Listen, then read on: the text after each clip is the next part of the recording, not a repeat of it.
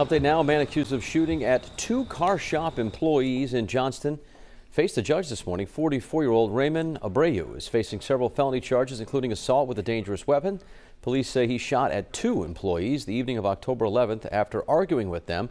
One of them had non-life-threatening injuries to the leg. A judge set bond at $200,000, ordered Abreu to stay away from the shop. He's due back in court in January.